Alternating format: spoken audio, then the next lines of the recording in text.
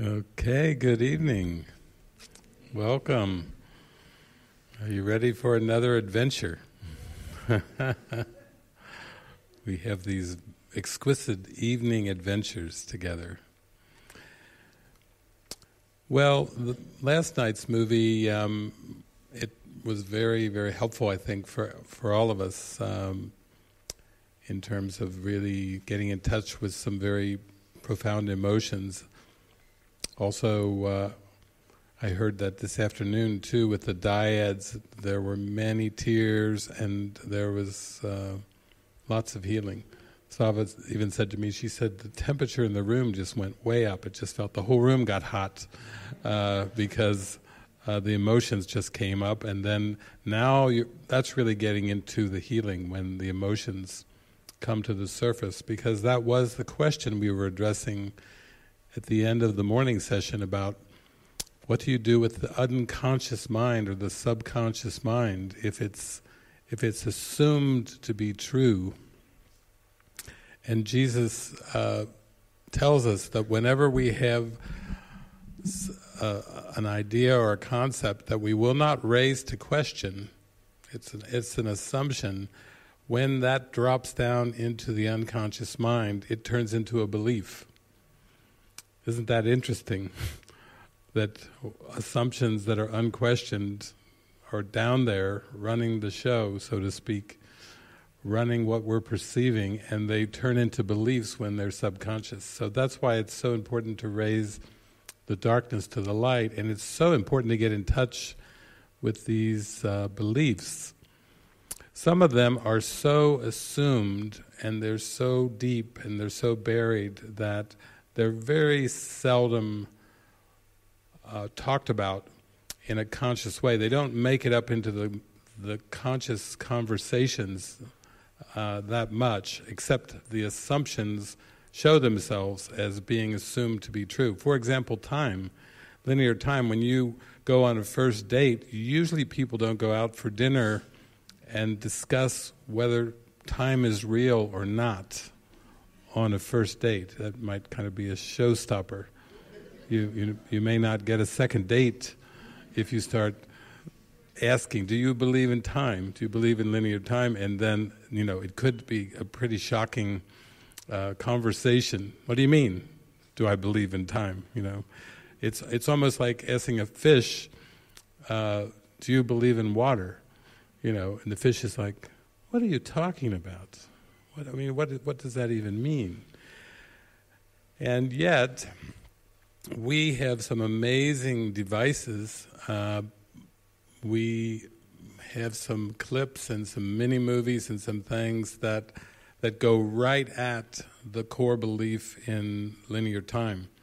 I would say simultaneity or simultaneous time uh, is is a closer approximation of, of coming into the quantum field where everything is simultaneous. So there really aren't even parallel lifetimes or uh, past lives and future lives. Uh, Gary Renard's book, Disappearance of the Universe, and Art and Pursah, and Past Lives and Future Lives, although I, Gary's a friend of mine, and I know recently he was on a, a a podcast with a friend of ours from uh, Ohio named Carl Gruber, and and then Gary admitted, kind of toward the end of the podcast, he said there really there really is no such thing as reincarnation. He said you don't really incarnate at all. That's just you know that's a mechanism, and it, and just like Dan Brown's books and Mary Magdalene and Jesus and Where the Romantic and all this, it's you know it can you can get off into a lot of of fiction and fantasy that doesn't really come to the point of healing, but collapsing time and, and going into these mystical experiences where you you can sometimes get a glimpse of the simultaneity of time. And basically Jesus even does this with his course. He says he says there's the unholy instant, which he calls the tiny tick of time, the tiny moment of terror and then there's the holy instant. So basically, it's amazing that all of time basically comes down to what am I going to invest in and what am I going to want. the holy instant of perfect innocence, the present moment that Eckhart talks about that takes you to eternity, or the unholy instant, which is just the past. If you squish the past down to just one instant, it's this time of terror that Jesus is talking about.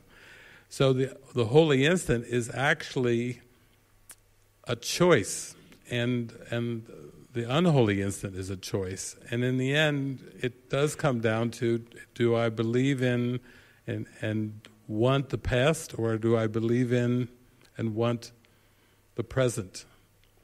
And the present moment isn't really, it isn't even in between the past and future. You see how hoodwinked we've all been. We tend, remember our history classes ever? You know, they draw the big timeline and they put the arrows on the chalkboard, and guess where they put the present? In the middle of the past and the future. They don't tell us. Uh, you have to go to Jesus Christ, who says, The present is before time was. Remember that in the Bible? Before Abraham was, I am. Look at the grammar of that sentence. Before Abraham was, I am. There's people ready to stone him for that, for saying such a thing. Again, not an easy conversation starter. Uh, you know, it, I would not use this on a date.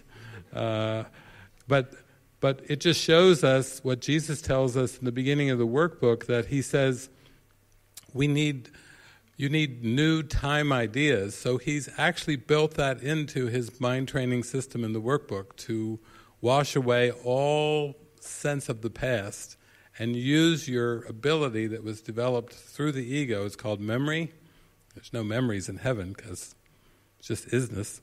But memory was made by the ego, and Jesus says you're, you're accustomed to believe that you can only use memory in relationship to the past, but you can actually remember the present, and it will take you all the way back to eternity. So he's working with us with, with an ability that, that was made to keep us stuck, and now, of course, he turns the table and says, Actually, I can use it to get you home, like he does with everything else. So, what I'd like to do tonight is last night we just, you know, we were all I could tell we were all just so entertained by that movie and also very inspired. Years ago, I started to realize for myself that that I said um, I really enjoy music and I enjoy movies, and there was a pretty strong entertainment value for me with movies. I would I would go to movies to be entertained, and there was a bit of escapism, you know movies are exciting and new adventures and new scenes, new characters, new scenarios. You know, it. I think I was using it to kind of escape from maybe a sense of boredom or escape from the mundane. And I could tell myself I was expanding my horizons, but there was a part of me that was just in there to be entertained by the movie. But when I've talked with Jesus about this, he says, well, actually, if you start to train your mind to watch movies in a different way, uh, if you start to use movies solely for mind watching, almost like we call them movie meditations, where you pay attention very closely to your feelings, you pay attention closely to your thoughts, that the movies can actually be tools to help you get in touch with your subconscious mind you know, it, it actually can be extremely helpful, not as an entertainment device, but as a tool that you use to learn how to watch your mind, how to watch the world, and, and especially if you practice with movies, then you can start transferring that to your daily life. And there's a huge transfer value then because you start to actually forgive and really deepen in the forgiveness practice, and it helps you with even when what the world would call emergency crisis situations arise, you've got this great mind watching practice that you've been practicing with with movies, and you're calm, you're still, you're observant, you're aligned, you're connected. You, you are actually reaching higher and higher in your forgiveness practice. So initially, when I would show movies, I would do a lot of commentary and so forth, but actually, I would have people use them as like music and movie meditations to practice with stepping back in your mind and observing. So in, you can still enjoy the movie. I thoroughly enjoy the movies, but I'm very attentive, in particular, to the feelings that arise and to the thoughts that are there. And that's why I do like to, instead of always being a theater, I'd like to be able to rent the movies or stream the movies or whatever so I can pause it. Because in the early days, I would go to Blockbuster Video or something. Jesus would say, This movie is for you, this one, this one. I'd go home, I'd watch the movie, I'd start crying, or all kinds of emotions would come up. And then Jesus would say, Pause the movie and just be with this for a while. So it was like movie spiritual psychotherapy with Jesus Christ. Uh, and it was actually very helpful. Uh, or if if I couldn't pause the movie, he would take me out to a movie theater, and I would watch the movie, and I'd be all emotional after the movie. And if there was nobody there, I would just they would and they would let me. I would stay in the theater. I would go to my car, and I would fog up the car for a couple hours as Jesus gave me instructions. You know, I'd say, "Wow, that was a scary movie." He said, "No, the movie wasn't scary. Your mind is scary." and here's what we're going to do about that. And he would take me in and show me where I was afraid, what I believed in that was the fear that I was projecting onto the scary movie. He'd say, Boy, that was a funny movie. He said, No, your mind is funny. you know, the movie's neutral. Uh, nothing I see means anything. I have given everything I see all the meaning it has for me. You know, he'd come back through the lessons and he would educate me on looking at the movies in a new way, and he would do all this, uh, sometimes hours of spiritual psychotherapy to show me in a very helpful way uh, with lots of instruction uh, on what was going on in my mind and what I was projecting onto the screen. So I'd like you tonight, we'll, we'll just step up from last night. I, I just want you particularly to be attentive to your, your feelings and your thoughts. And perhaps if we have some time after the movie, you can even come up to the front row and maybe you can just share, wow, what, what emerged from the subconscious during this movie?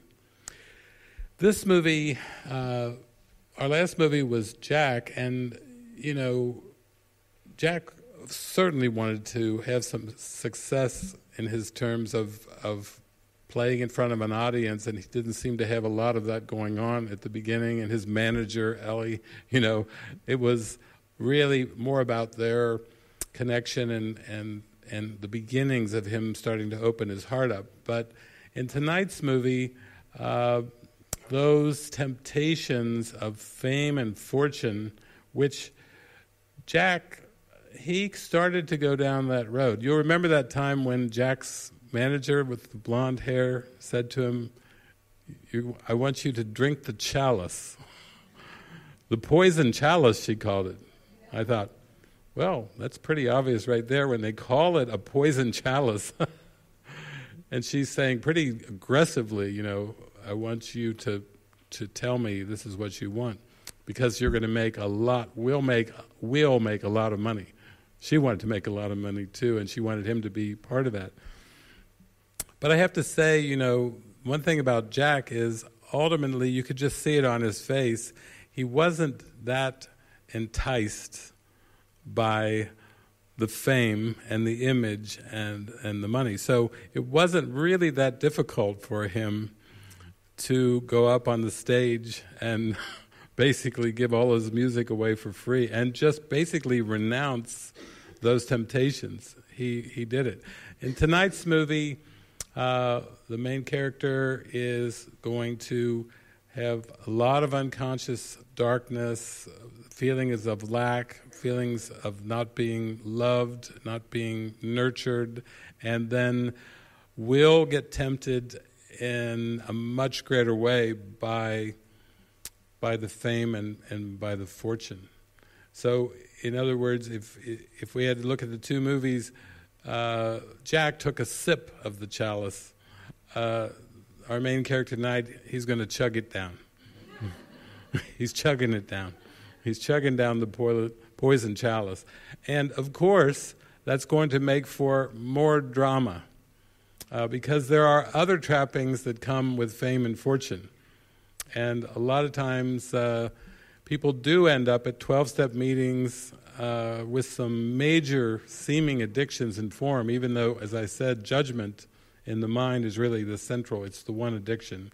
But it plays out in many ways, and the mind can get so lost in form and so tangled up in the complexities of the ego and its many, many defense mechanisms, many, many distractions, many ways to numb out, to try to avoid facing your feelings, facing your thoughts, facing your beliefs. This world is just full of, of options, seeming options. Uh, they're all invented by the ego to keep you from knowing who you are. So I think that's really the benefit of, of tonight's movie because you're going to get to see these things play out in a much more extreme form, I think, than, than last night's movie. Why is that valuable? Uh, I think of Jesus in the Course, and, and he's saying, um, My part in uh, my teaching part, or part of my teaching part, was the crucifixion. Uh, you are not asked to be crucified, but you are asked to share my perspective of forgiveness with seemingly less intense. Uh, situations than being on a cross bleeding to death over a number of hours. You know, it's almost like that's, that's just an extreme form of, of a temptation to believe you're a body. And he's saying, You're going to have, I'm just asking you to follow my example of forgiveness with less extreme uh, situations than the crucifixion. You know, you don't have to worry, you're not going to have to go through the same thing. That was my contribution, he said. Your contribution will be different. Maybe it'll be through music or song or hula hooping or some, something. We do have a friend who, who's a great hula hooper for God named Sean. He, I mean, he's a really good at it too. He, he really, it's like a meditation watching Sean hula hoop. But it's, he, he uses it, I think, as a meditation practice. It's, he's very skilled. But you may have it play out in many different ways without having to go through a crucifixion scene.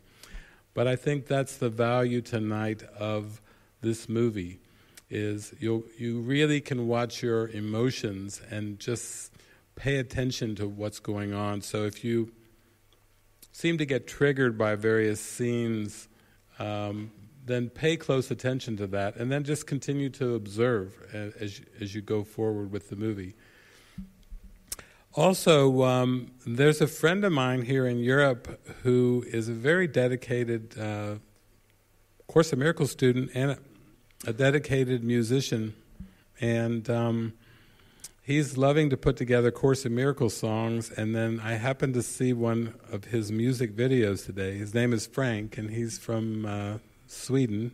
Some of you might be aware of him. But I thought before we start to watch the the main event I could have Frank be your warm up band tonight to guide you through one of his amazing Course in Miracles songs to set your mind in a very beautiful state of mind before the movie because it's like a, a reminder. It's kind of like a, a little preparation before you go into it.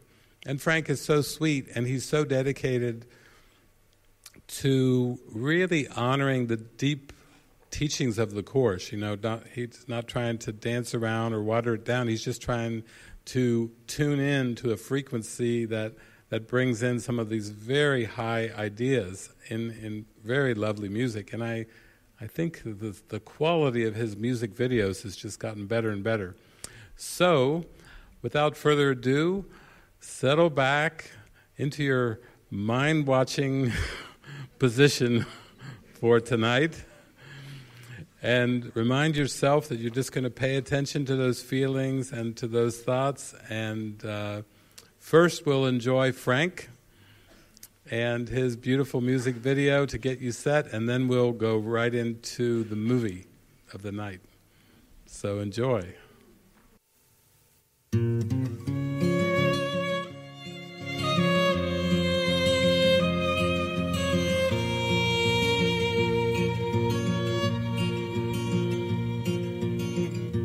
Is nothing here to change. There is no one here to blame. True forgiveness is the key to restore my sanity. I am never upset for the reason I think.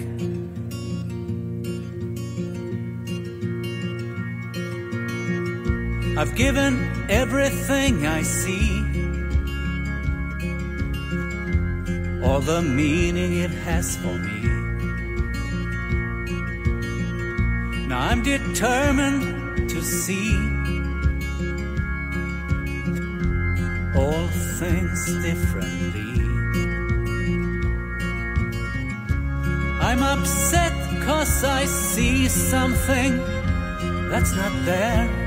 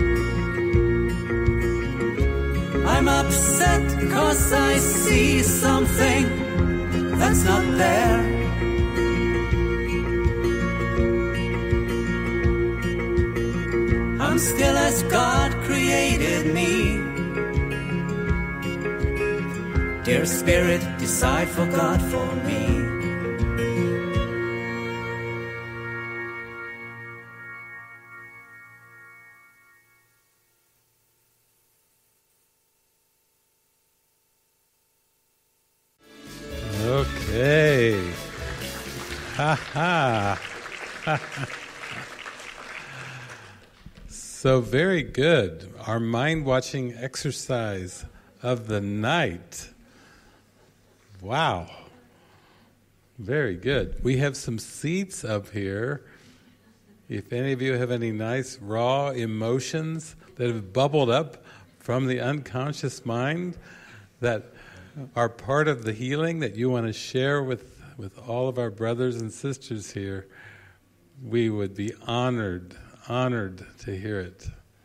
We've got a, a microphone standing by there. Oh, yes, thank you so much. This is a new way to watch movies and heal. I don't know what to say now again, but it's uh, again a shot middle in the rose. Apologize for my English because it's not perfect. And well, Elton John was the favorite of my mom, and I danced on with her on the music of Elton John at home. and and um, well, I had my coming out when I was 21, so I can identify myself with the inner and outer world of Elton John for 100%. And, you know, the circumstances were different, but the same idea. And it's a, I come from a very negative paradigm because I was, I would like to be straight, get wife, children, house, career, that, that kind of things. And I know it just was just a lie for me. It couldn't work. And secretly I felt in love with boys and, and in the soccer team. I built up my fantasy world. Anyway, 21 coming out, and then I said, I'm free, I guess, I'm free. And uh, after a few months, I just said to myself, well, nothing to lose, just make your world. And I get, I get happy in a way, and, and I make the second mistake the pitfall that I would like to have a special relationship, like in a gay marriage. And uh, stupid, you know. It's, why a special relationship? So I get a few times, I get very um, in love with someone who wasn't in love with me, and they get psychotic three times. They forced me to the mental hospital, and after three times, I said, I never want to be psychotic again. I just finish my law study, and I'm going to be a lawyer at the Legal Aid Center. And went to Thailand and, fuck up Jesus, fuck up the God. I, I was just fed up with the whole Catholic system I came from. And, and the Buddha made me happy. I thought, and I make fun like Elton John with the man in Thailand. And after 30 years, I was, I was missing. You know, I, I just, um, I have to wing my cousin Koos Jansson. And because I didn't saw him for 30, 40 years, I said, uh, I want to be a, I want to have a spiritual path, and can you help me? And he said something about the Course in Miracles. I said, what, what's that Course in Miracles? Never heard of it. I just come to one of my sessions, and I start to get argue with him about all kinds of things, and my ego protests to everything. I, well, uh, but I trusted him. That's because he was my cousin. I love his my cousin, and Just said, "Go on, Paul." And for ten years, I did the course, and and slowly, you know, it was like, "What's happening here?" You know, it's Jesus calls you, and when you are Thailand, just go to the Buddha when you're there. But if you're here come to me, to Jesus, because this is your roots here. And, and, and your God is not the God of love, it's just the God of the church. And I get, you know, flushing and well, that's the end of it. I'm now here, just the end of the story. And I want to be in the present now. I want to leave my fantasy world, my loneliness, my fake ideas, and just get all the rubbish away and Jesus, he'll have.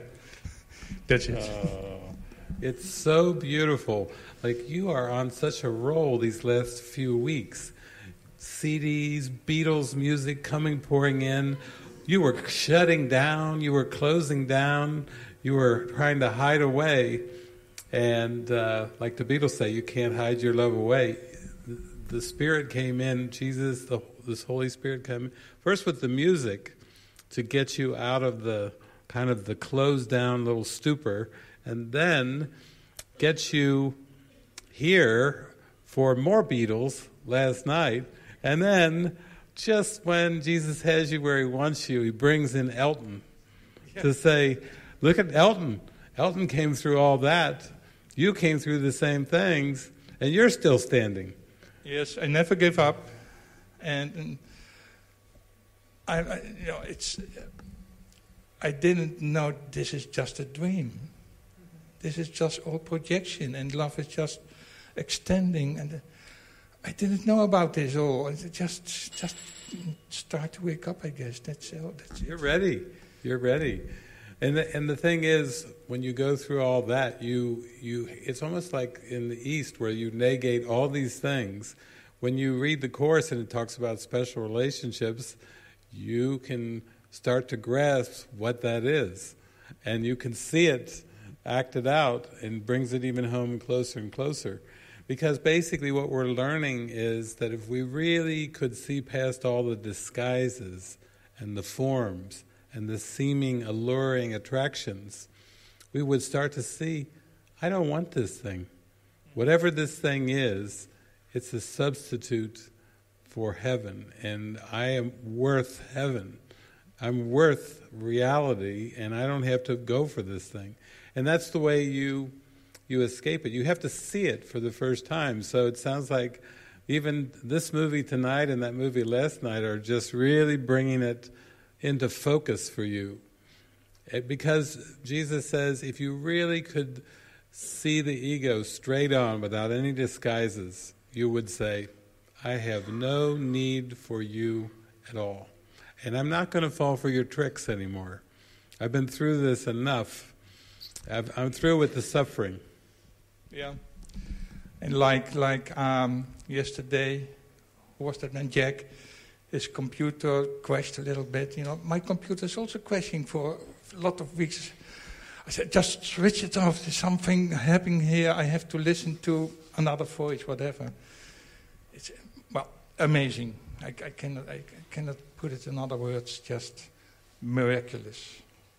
Isn't Thank it you. great to know that that nothing ever really breaks? That at things in your life that even seem to be there that you became accustomed to, when they start to fall away, crack, fade, disappear, there's something inside you that can rejoice and say, Bye bye, I don't miss you anymore.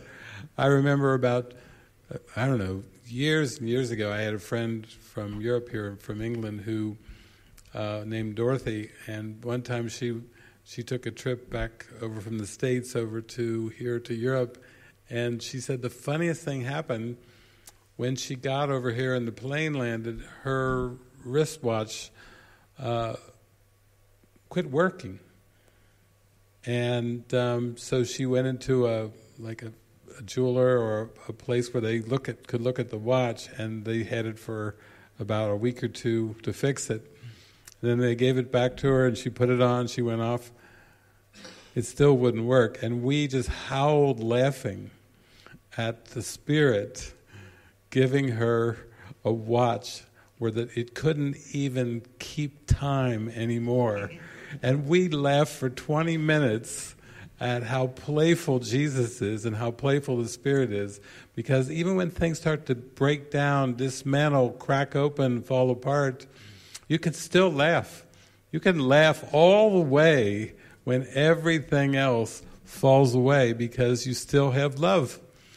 And love is waiting for you to, to know itself, you know, it just wants to be known. And sometimes things have to seem to fall away. So I'm so glad. Thank you for giving your testimony and coming here and sharing with all of us how you got here and how you appreciate uh, what you're being shown because it's very obvious. It's like the Spirit is saying, Thank you so much. We'll make this more and more obvious that this is a dream and you're ready to wake up. Thank you very much, too. Thank you all. Thank you. Thank you. Hello, David. Hello, hi. everyone. Hi, hi. Well, um, with the scene, uh, he was sitting at the table with his father and mother, and th- they so rejected him and they so exposed no love to him. I was crying, and I yeah I felt uh, my sad my own sadness, and uh, and and I was thinking, well, I cannot imagine that when in your little childhood, you, you, you are not getting this love of your parents. How can you survive? How, how can you find love in uh, yourself in, in your life? And uh, Elton was exposing this. He, he didn't believe in himself that he could feel the love. And, well, that's what I felt a, a great part of my life. So I am not able to love to feel love for somebody. And, and that's not what my mirror told me because I felt other people loved me. But there was something in front of me I couldn't get through and feel that I was able to love. And, well, so, and in this film, I get back in this story, and I really was believing, no, that isn't, it, it's not possible. When you didn't get this love from your parents, it's impossible to, to feel love in your life. But then, well, further on in the movie, there were things were said like, uh, uh, you, you can ask help always, and his there were all the other people who were there for him, his friend, and yeah. So, but he he couldn't receive this love, and I, well, that I recognized it so much. So I've I felt all my own pain, but now I'm here and I'm sitting here with all the people, and we are doing the course, and so this is strengthening me that yes, it is possible. Whatever happens in your life. But yeah, I, I, I went through all the feelings of really despair when I saw this movie. And, and, and at the end, I, I also felt, okay, yes, it is possible.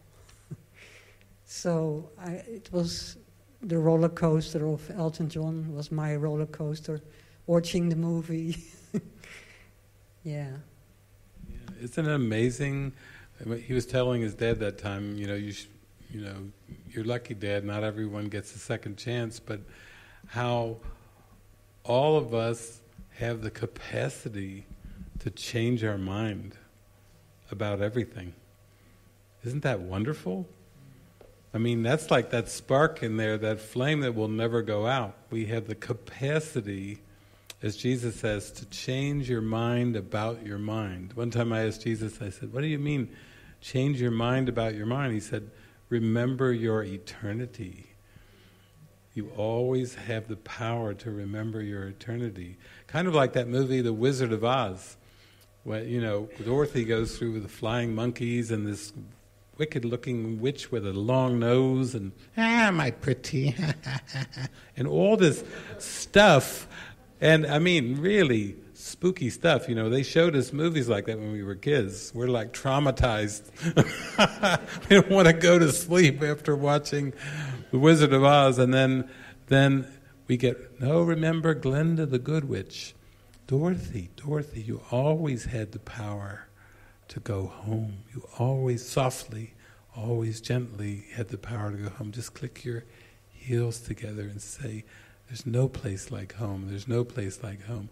Oh, yeah, there's that gentle voice reminding us we always have the power to change our mind. We don't have to stay in, in duality. We don't have to stay in suffering. We can change our we can change the direction of our thinking. Okay, maybe the direction of our thinking has been guilt and fear and pain and and suffering, but we can change the direction of our thinking. We can control the direction of our thinking. We need help, but we can control the direction of our thinking. We can think with God instead of trying to think against God. It's possible to think with God. Only my loving thoughts are true. Everything else is an appeal for healing and help and you can remember only the love. Our perception is selective. We can choose to select the miracle and change everything that we perceive about ourself and about everyone and about the world. Thank God that that's there. And not only that, look around at all the mighty companions that have been sent. Look at all the witnesses a room full of witnesses to walk with us side by side. Elton had Bernie. Yeah. Bernie was there, smiling all the way at the end, visiting him in the the place where he was, that house or that institution. And when Elton started talking about in in the darkness and everything, and thinking that that was still who he was, and and how he'd hurt people and all this, you saw that big, wide smile on Bernie's face. Not buying it. You can't fool me. and you know, we have that power to give that away, you know, to be that person and to go inward to our mind to be the one who can see the innocence, who cannot buy the error, no matter what anybody is saying. We can offer that gift of love and innocence, and then we're really giving ourselves that same gift when we give it to our, our brother and sister. So thank you for witnessing to that because, you know, that's a testimony that we can change. We don't have to. People can change. You know, really that's a symbol. The mind can change from from hatred to forgiveness. There's, one thing I want to share. That's uh, what happened in the afternoon with the the the, the dialogue we did. So I was talking about my uh, self judgment, and afterwards in the group, uh, someone was saying, uh, "There, where you put your attention to, that grows." And then I, that came so to me because then I realized, yes, when I give my attention to my self judgment, it grows. But I, I can give my attention to something else, to the opposite. So, and that gave me a big power. So I thank the man who said it this afternoon. yes. Thank you. Thank you. Thank you. Thank you all.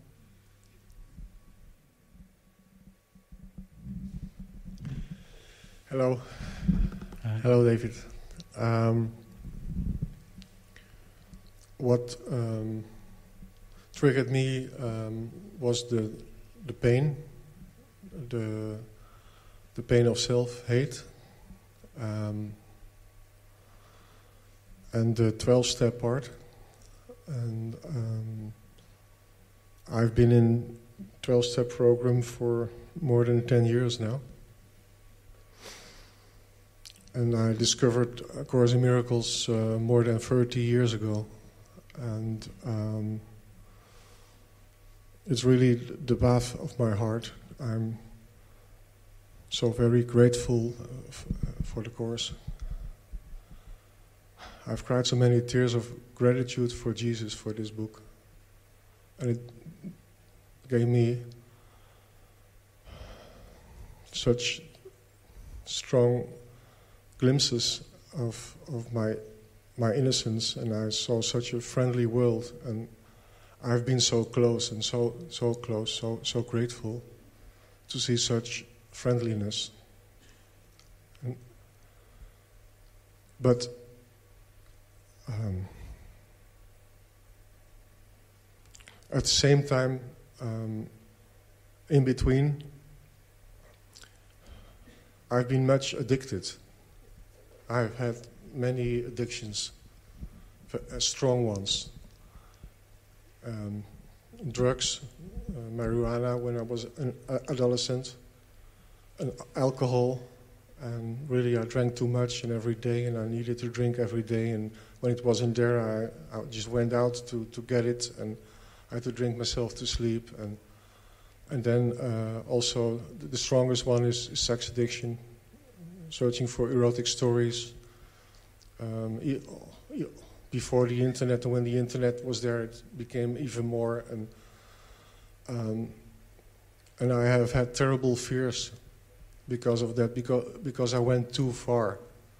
I, I felt like like an elastic when you pull to, pull it too hard. When you go too far, I, I, I went too far in searching outside of myself, in, in distraction. And um, that brought me to the 12 step program. And I remember that when I was there, I was talking about the course because I love the course so much. And then one fellow said, um, Please stop about the course. This is not the Course in Miracles group. And the course ha- hasn't made you sober. I was very angry because I wanted the course to have made me sober just out of gratitude toward Jesus. And on another level, I understood just, uh, he was right, the fellow. So I, I, I shut up about the course. And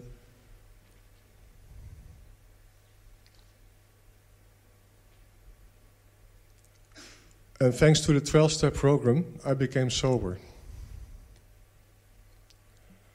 And the first line of my sobriety prayer is uh, God, please let me make sobriety the most important thing today because uh, sobriety is the, the ground where all the, the, the pathway to God lies. So before there is a pathway to God, there has to be a ground for that path. And that's so important is it. And I want to be humble. It's only since the 12 step program that I could, could continue my pathway with A Course in Miracles. And I almost was afraid to go here because it felt like that's, that's the highest level for me, and I'm afraid to become like Icarus and, and become arrogant and fly too high and fall down.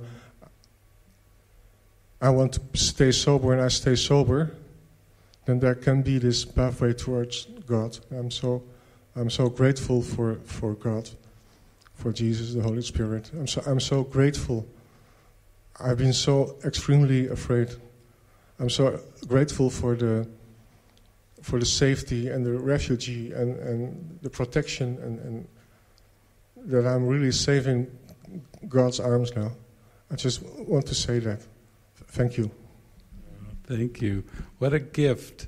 We offer that prayer to the whole universe. And here on John Lennon's birthday, we honor Dr. Bob, we honor Bill Wilson, we honor the Big Book, we honor all those 12 step groups all over the country, all over the world that have been going for decades and as a beautiful, beautiful, beautiful pathway to God. And then even as you go through the 12 steps, you when you come to 12, you know, you have to maintain that continuing contact with the higher power. And so I see that the course is just an addition for you, but the but you've got to stay with the core.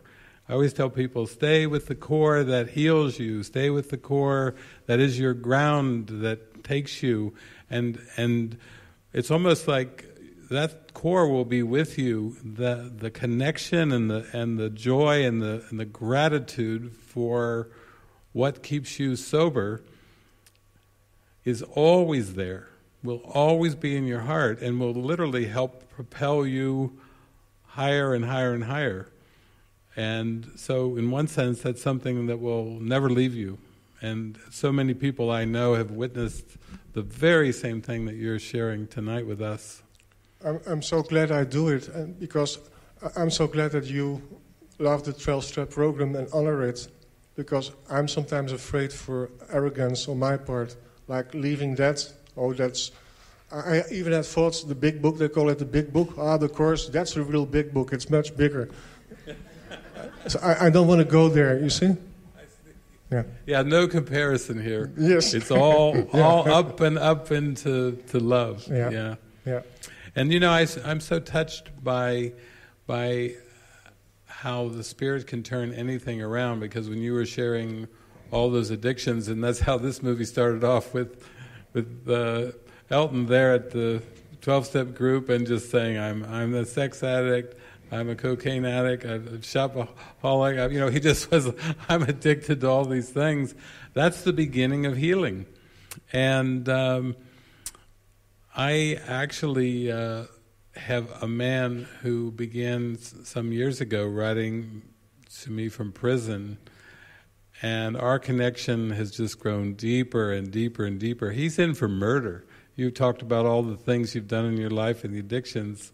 I don't think you've killed anybody, but uh, he wrote to me. He's he's in prison for a, a, long time for murder, and he got a hold of the course and he got a hold of my books, and he's of course there he's uh, he's a captive audience uh, for uh, for this stuff, and his name is Dale, and I'm telling you, I I even talk about him when I do, have done an online retreat and and I've gone through his letters. He writes, he wrote his letter to me in red letters, red ink, handwritten. And I went through online one time, did a whole session, line by line, of Dale facing the darkness. He was a boxer. He was a professional boxer, really a, a good one, who was on ESPN and, and everything. He killed a man. He got deeper into the course. He got deeper into my teachings. And then at one point, where he thought I'll start to teach this here in prison. I'm doing pretty good. Then the family of the man that he murdered said, We want to meet you. And he's like, Oh, oh what's this? I said, Yep, you're, you're going to get to face everything in your unconscious mind now when the family comes and starts asking all the questions why, you know, and all the things you're going to have to pray and let the Spirit speak through you. And he opened himself wide to that, and he's just like yourself, is just healing and healing and rising up and rising up. So it just, you're a, a great example that through all that you went through in your life, you're coming sober. Elton, all that he went through, 28 years sober, and and opening his heart up and still healing and healing. You know, these are the kind of witnesses we actually need to hear and hear about the Dales, hear about you, hear about what people have gone through because it helps give people faith and and it helps strengthen in them that they can face whatever they're facing. And so thank you for coming up here and just being so lovingly transparent about everything. It's really a blessing for all of us. Thank you. Thank you.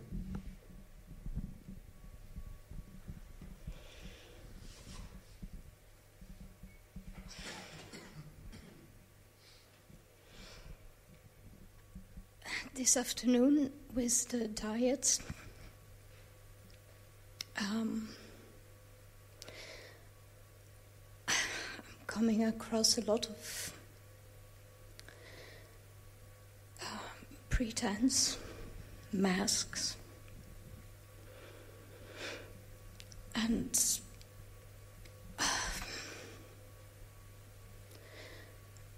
finding out unworthiness and specialness are actually the same. I have to sort of keep up a mask, being special, not to feel the unworthiness inside. And this movie was into the extreme of what a high maintenance it is to keep up the mask and the pretense. And that you have to go further and further and get more crazy and more crazy because not to be exposed. And um, I'm so sick and tired to keep up the mask and I'm so ready to give it up. All these self concepts and because it really tires me out and yeah I think I'm not a, that extreme as Elton John but, but in a way it's the same I can see that and um, and it's only a, call for love. When will you hug me? And your whole life builds on that, looking for a hug. Yeah, it's amazing to see it so clearly acted out of this idea of the deep feelings of, of unworthiness, like, please love me, and then it's played out in terms of developing a mask or a self-concept, and then, yeah, somehow it seems to help it to see it so extreme, and to see it is just the spinning, like his world was just, at times the way they filmed it was just like spinning around with different masks, and then another mask, an extreme mask, and exaggerated costumes and, and everything uh, but underneath it, this cry, you know, please, somebody please love me, somebody please see me, somebody please honor me, somebody please recognize me.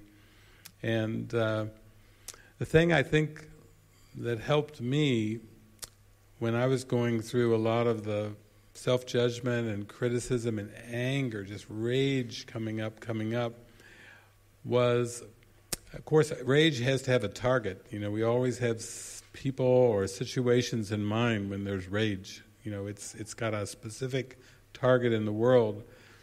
And then something lifted in my mind one day from you did this to me, you did that, I'll never forget this, and how dare you, and you know all those kind of raging, angry thoughts, to to this gentle presence inside, uh, reminding me, like I was saying today, that when Jesus said, "When you came to this world, you brought the world with you." Uh, it it came in a soft way. It said, uh, "Say it this way, David. You need to reframe it. You need to turn it around in your mind. And it was, I taught the world to teach me. I had to get that first part in there. I taught the world to teach me. I learned this fearful world to reinforce, to teach me that I wasn't loved, that I wasn't worthy. But it, instead of the world did this to me and I'm a victim of all these things, these terrible things that I have memories of, I taught the world to teach me. Somehow that brought in that if I can teach the world to do that, to teach me, I must be able to teach the world to teach me something different. I, maybe I can finally learn to teach the kingdom to the kingdom. Maybe I can, as it says, teach only love, for that is what you are. I can come back to that core and say, whatever it was, no matter how dark the unworthiness is, I can I can change. I can I can turn it. And and every little it gives you gratitude for every miracle. Every miracle because yeah, we we met, we came together, we we went through a retreat. You came all the way over there to to Utah for was that 30-day mystery school. And it wasn't easy it was more like there was a lot of darkness that came up. And in one sense, it was almost like a cocoon, like that was a lot to give yourself permission to come and allow that even to come up. You have to really congratulate yourself, your mind, for, for giving permission, because that's the beginning of the turnaround, is this authenticity, is this transparency it's even speaking it up, saying, I can't hide behind these roles anymore. They're killing me. They're, they're weights, they're weighing me down. And, and I deserve love, I deserve happiness and joy, and I can't experience that if I hold on and I keep clinging to these roles and these masks. And it's okay if the ego is going to scream and shout at me and tell me I'm guilty and everything, then come on, bring it on. Is that all is that the best you can do? That's sometimes you have to say that to the ego. Like Truman in the Truman show. You know, when he finally makes it in the water and he's he's trying to make it over to the edge to, to find a way out of the show. And then uh, Christof, you know, the ego character says, hit him again, hit him again. Like, really, you're going to drown him. He's the star of the show, you're going to drown him and everything. And then Truman utters those beautiful words as he's coming out of almost drowning, and he's all wet, and he's laying there, all strapped in the caught in the rope, and he says, "Is that the best you can do?" That's what you have to say to a death wish. Is that the best you can do to try to kill me? Because there's a spark in me, there's a flame in me, there's a light in me that can't be killed. It won't go out. And it's so strong. You know, we've just identified in this world with all these other things that we call strength. But blessed are the meek, for they shall overcome the world and they shall overcome it in gentleness, and they shall come overcome it in the strength of the meekness of Christ. The gentleness is where the strength is. And you have that, Lisbeth, in your heart. You've got a gentleness that's in there, that's still and quiet. In the midst of the storm, it still remains untouched, impervious. It is it is invulnerable. It is so strong, it is invulnerable. And that's really what this is all about. You're just going to tap into that. And like the phoenix, you're going to rise up and rise up in the light because, because it's destined. Because it's destined. Because God never forgot, never forgets us, never forgets the truth of us. So thank you. That's very, very courageous. Very, very courageous. You were very courageous at the mystery school, and you're you're still very courageous. And and you know, as they say, I may be down, but I am not out. And I will rise up again. I will stand. I'm still standing, as Elton shared. You know, you're still standing. Yeah. Thank, Thank you. you. Thank you. Beautiful.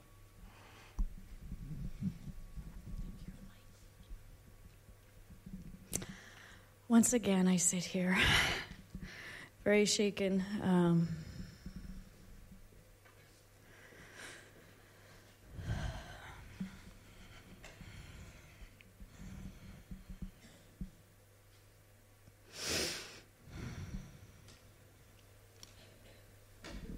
I'm so grateful to have uh, enjoyed alcohol sobriety for just over six years. I just had my anniversary last month.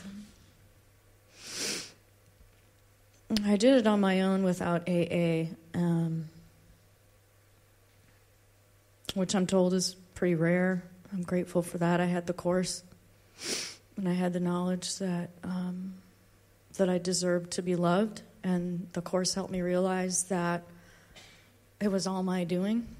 And after I got through the guilt and the judgment that I has, had done that to myself, that I had written a script of depression and death for myself and that I hated myself. I'm so glad to be beyond that and to be on this beautiful path. I met my husband a couple of years ago, and he introduced me to AA and was sober when we met. And uh, he's now in ICU and has fallen so far off the wagon. I just. It happened like a week before I came here. And I just have no idea what's what's going to happen if he's going to. I just don't know. He's been offered so much love and so much care by me and others, and he has an AA family.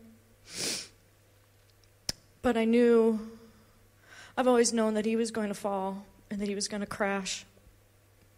And I've seen him crash many times, and this is a, he's just crashed and he's not getting back up and they have him medicated so much because every time he wakes up, he tries to hurt himself or somebody else. So he's just completely out of reach.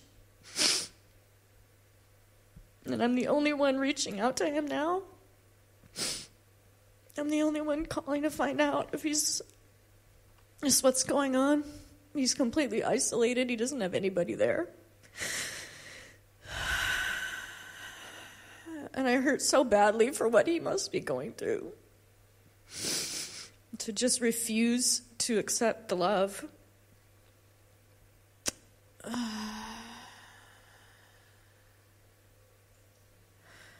And I've been dealing with a lot of judgment and guilt about how I respond when he relapses. He's, he's relapsed multiple times since we've met.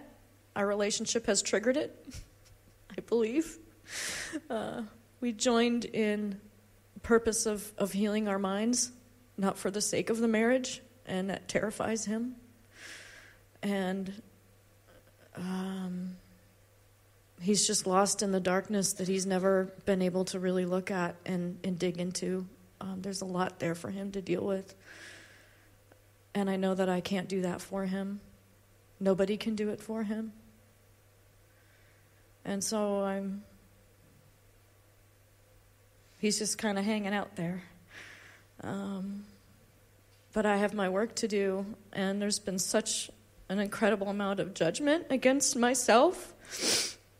And I look at this movie and I think, well, if I'm Bernie, I'm being a pretty shitty Bernie. Because I react out of anger when he drinks at first. And I get so just fed up with it. And I yelled at him when he called me and admitted to me that he was drinking a couple weeks ago. Um, but my right mind comes in, and I realize that it's a call for love and that I want to answer the call for love with love. But the guilt is just so strong because he's fallen so hard, and I just don't know if he's ever going to come back. I don't even know if his brain will function. I mean. I don't know. So I've been looking at all of this and, and just trying to give it all away to Spirit and just trust that even though this seems very tragic and uh, there's just this cloud of death hanging over my, my dear, dear, mighty partner, my holy partner, who knows how to love others so much but cannot accept it for himself, that Holy Spirit has him in this dark place where he can't even wake up without being violent towards himself or others. This man that I've only known as being sweet and kind and gentle.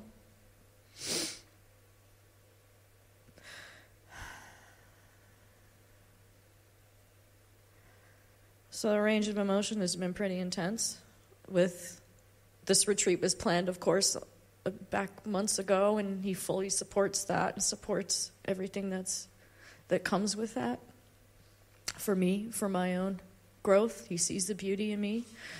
I've been praying to Holy Spirit, and I see my husband in front of me, surrounded in light, and telling me that I'm loved, to prop me up so that I can do my work and so that I can be in peace.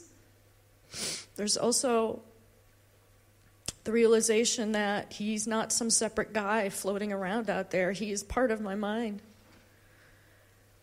And when I got the call that he had fallen, and he told me that he, sh- I said, What do you want me to do? He said, I think you should divorce me because I can't keep doing this to you. I said, What about you? What are you doing to yourself? You do this to both of us. We both hurt from this. It's just all so strange. And yet it, yet it all seems really orchestrated at the same time. But I'm doing what I can to take responsibility for this. I know he has his own journey, but I get the deep sense that until I accept love and accept my true function, he will not accept his. We're very joined in mind. We are joined in mind. And watching this, I was just like, you've got to be kidding me. You've got to be kidding me with this movie selection. Um,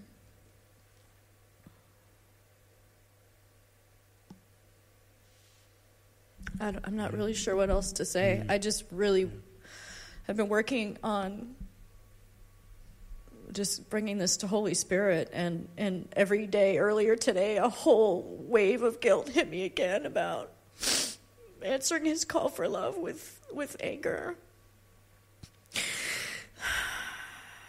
And then I can feel good and feel trusting in spirit, and then it and then it just the wave comes back again, the wave of guilt and judgment. So I just wanted to air all of that and expose it once again with all of you, all of my brothers and sisters, so um, so that healing can occur, and so that I can be at peace, and so all of us can be at peace. Because I I know what that is like. I have a lot of ego to heal, but I know what it's like to want to die, to just hate so much that there's no way out but to destruct. You just can't face yourself. And I feel for anybody who's gone through that, but I want to take responsibility as well and not play the victim game and pretend that I'm my partner's victim. Just as Elton did in this movie. Yeah. So Yeah, that's the one word I kept hearing while you were talking. It's is the word responsibility. And I know for Christians, um, one of the strongest symbols for Christians is the cross. And for many Christians, they it's misunderstood. They see the cross as a, as a symbol of the crucifixion and the ultimate sacrifice uh, for for the sins of mankind. And what's so beautiful about the course is uh, Jesus is coming through with the course and saying. Uh, you have not sinned, but you have made a mistake. And Jesus says there's a big difference between a sin and an error. And you have to realize that the, the cross, the crucifixion, did not establish salvation. The, the Christians, many well meaning Christians, believe that that event that occurred 2,000 years ago was for all mankind, and it, it, it literally saved everyone. All the people were were saved by that event. And Jesus is saying, no, it's it's actually the resurrection. You know, you don't reach heaven through death. You reach heaven through life and forgiveness. Doesn't that make intuitive sense? If you're going to eternal life, you're going to go through the tube of life, not through the death tube. you don't reach life through death. You reach life through forgiveness and resurrection. And what resurrection is, is atonement. So let me give you a reinterpretation of the cross. Because I was raised Christian too, and I heard all that for a lot of years. the cross is the intersection of the horizontal plane of time and space and the vertical plane of the miracle. And when you are going through this suffering, you are seeing yourself and your husband on that timeline. You're on the horizontal beam. And the horizontal beam is where the arms, you know, are were strapped down for Jesus, but there there is no correction to be found in the horizontal. That event that occurred of Jesus bleeding and dying on the cross was was part of a, a story that was even used where he was put in the in the grave and then he he rose again and symbolically. He came back which is not common on this planet. And not very not very common at all. It'd be like your husband killing himself and then coming to you and visiting you and going well I did it but I, I raised Yipes! you know, are you a ghost? Mm, I'm back. you know, this resurrection is in the mind.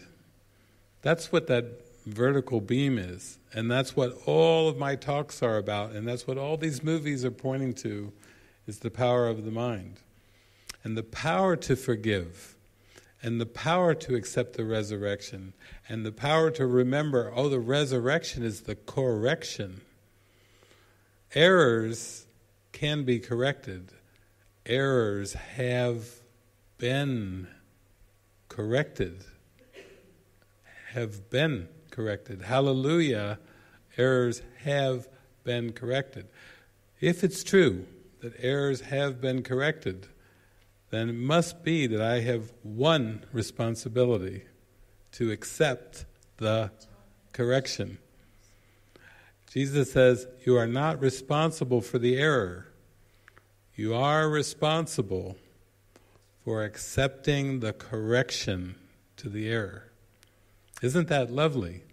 Anytime you want to beat yourself up, anytime you want to get into that old codependent, linear, oh, I'm not a very good course practitioner and I should know better and that wasn't very loving to scream at him and all this blah, blah, blah, blah, blah, blah, blah. That's all horizontal.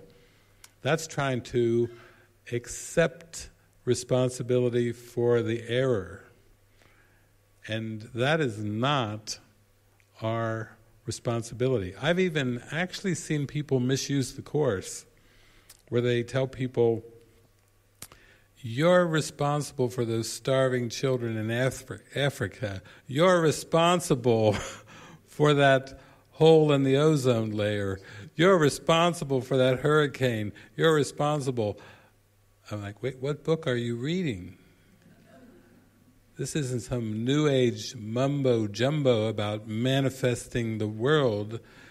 You know, I'm, I'm actually kind of tired of new age teachings that teach that you create your own reality. Let me tell you right now, that's not a teaching of A Course in Miracles. You do not create your own reality. Let me tell you who the creator of reality is it's God. Let's get this straight. Let's wipe out the New Age too and take the whole thing with the crystals and everything out of there with one swoop. The tarot cards and get them all out of there. You do not create your own reality. That is not a true teaching. God is the creator of reality, and guess what? I can but accept the reality. I can accept that God is the creator of reality. So when you start to beat yourself up, you've got to come back to what that one thing I said at the very beginning, right at the beginning on the first night. This is the hallelujah line. Just say to yourself again, remind yourself again I did not create myself. I am not responsible for creating my identity. God is the creator of my identity. I am as God created me. God is the creator of reality. I'm not the creator of reality. God may have given me creative ability, but that's at the spiritual realm. God didn't say, well, you know, I'm going to create you perfect. And if you want to mess around, with this manifesting thing. You want to manifest bodies and spheres and time and space and husbands and wives and and husbands who fall off the wagon and wives who stay on and feel pain for husbands that fall off the wagon and on and on and on and on. God didn't create you perfect and say, now, you know, don't mess around. God said, You are my beloved, and you will forever be my beloved. I will love you forever. You can do no wrong as a beautiful, perfect spirit. That's reality. So I, you know, typically wherever I show up, I wipe out a lot of things, but tonight I chose to wipe out the New Age. Thank you. And it's, I'm seeing the smile on your face as I'm wiping out the New Age. I, I, I you, of, of course, you speak the truth, and, and I hear it, and then it come. It's been this wave of insanity of of realizing that there's nothing but innocence here, and it must be divinely ordered, and it must be in perfect order, and this just you know, is reflecting all of this stuff back, and, and I'm remembering how grateful I am for my own sobriety, and that my peace is required and that my peace is is what I I can I can do my work and bond with Holy Spirit and join with Spirit, and that's how I can be most helpful. And I'm continuing to ask. So it, yeah, I, I just had to speak about all of that because it, it's just bringing all of this trauma story up, and the story is so tiring. And I was expressing that today too. I'm tired of the story of being tired. I'm tired of the story of being this being who needs to do all of these things and has these shackles on. It's just so old. It's this old, ancient story that does not belong to me. Um, it's interesting, too, that as I rallied people around me to help me, I moved out of my apartment at the end of September. There's all kinds of other things going on, and then his relapse hit on top of all of that. I'm being told that to love him is to not even love myself it's so interesting how the world looks at this. Uh, it's just like, wow, are you kidding? And I didn't argue with it. I was just like, yep, that's the ego. You can't expect the ego to side with love in this, Robin. You can't. It's not going to. You have to do what really feels authentic to you. And that's been shown to me over and over again as well that love is really the only answer for me or for him or for any of us.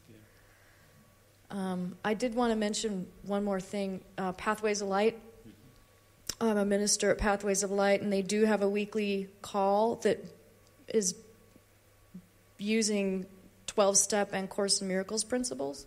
And it's a free conference call that people are joining who are on the recovery program. So I just wanted to mention that if anybody wants any more information. So. Beautiful. And that music video that Frank shared, you know, he used that word sanity in his song. That's what we're here for. We're here for sanity. And and what was shared too about the 12 steps and sobriety, sobriety that's that's part of moving towards sanity.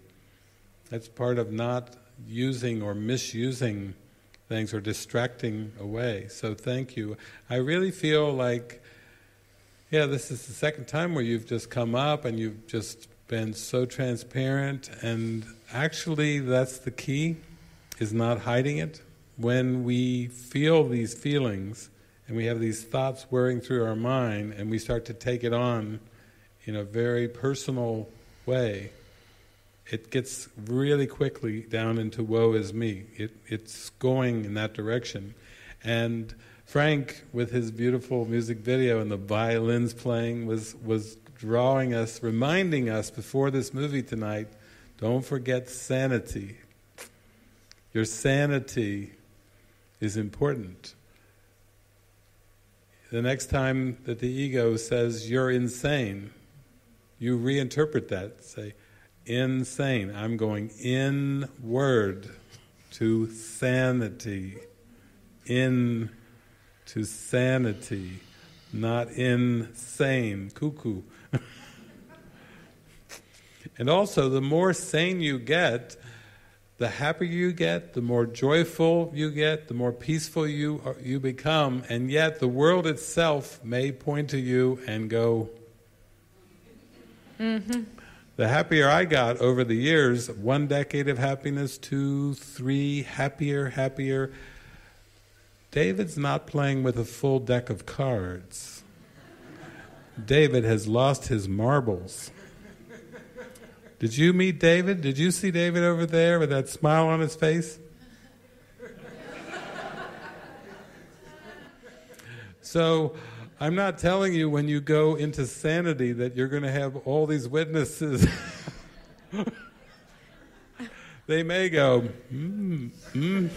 Yep. Mm-hmm. Yeah. Seeing that a lot. You're seeing that too. Seeing that a lot. Yeah, yeah. Yep. So hang with that authenticity. Just hang in there with that. Thank you. Thank you. Thank you. Blessings. Thank you. And thank you, everyone. Wow, aren't these adventures fun? We don't know what's coming for next tomorrow night, but we're just taking it one moment at a time here. So I hope you have a beautiful rest. I hope you relax and remind yourself of your sanity and and think beautiful loving thoughts with the with Jesus and the Spirit tonight. And God bless you all. Thank you all for coming and being a part of this. Thank you. Thank you, God.